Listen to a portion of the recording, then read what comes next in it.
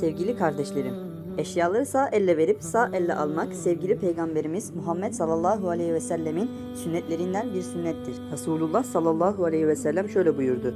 Sizden biriniz sağ eliyle yesin, sağ eliyle içsin, sağ eliyle alsın ve sağ eliyle versin.